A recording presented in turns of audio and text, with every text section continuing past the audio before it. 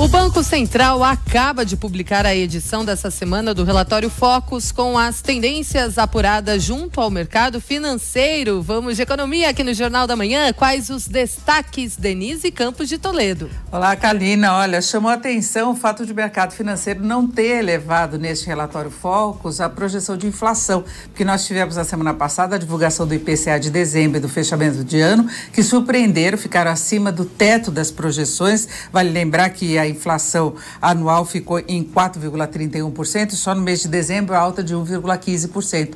Só que o mercado continua confiando muito na acomodação dos preços. A carne foi a grande vilã, o feijão também apareceu. Então, o que se imagina é que isso possa perder força e a gente continuar naquela dinâmica muito bem comportada de formação de preços, que ainda tem uma certa relação aí com a retomada ainda gradual do consumo aqui no país. Então, nós temos o IPCA, a projeção do mercado até caiu um pouquinho para 3,58% na semana anterior, estava em 3,6%. E para o ano que vem, o mercado mantém 3,75%, só que continua esperando por algum aumento da taxa Selic para fazer com que a inflação tenha essa trajetória, não neste ano, mas no ano que vem. Neste ano, a previsão é de Selic em 4,5% mesmo, é o nível atual, só que no ano que vem pode chegar a 6,25%, é a nova projeção do mercado. Isso para que o Banco Central consiga segurar de fato a inflação no ambiente de crescimento maior da atividade econômica. É o que se espera para este ano, um dinamismo mais forte, e aí poderão surgir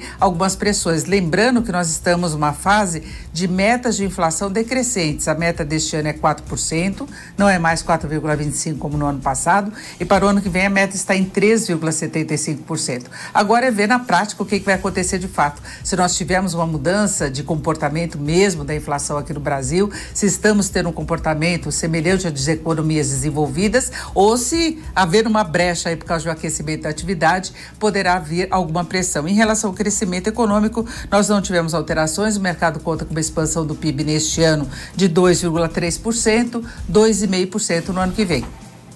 E o mercado financeiro, Denise, como é que começa a semana? Olha, dólar com uma leve alta, mas a abertura não tem sinalizado muito o que acontece ao longo do dia, não. O mercado tem acompanhado atentamente, especialmente o noticiário internacional. A semana passada foi de muita volatilidade, com toda a tensão entre Estados Unidos e Irã. Isso pressionou bastante os negócios. Agora, nesta semana, o mercado brasileiro e o mercado global contam com um fato positivo, que é a expectativa de assinatura do acordo entre China e Estados Unidos, a primeira primeira etapa deve ser assinada agora no dia 15. Isso tira de cena, talvez, um fator de pressão que tem atrapalhado muitos negócios já há bastante tempo.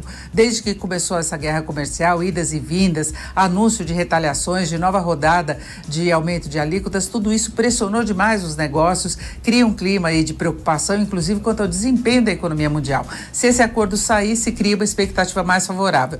Brasil pode sair prejudicado porque os Estados Unidos estão forçando a China a aumentar as importações exportações de produtos agrícolas lá dos Estados Unidos. Mas, de qualquer modo, pensando em ambiente global, tende a ser um fato positivo.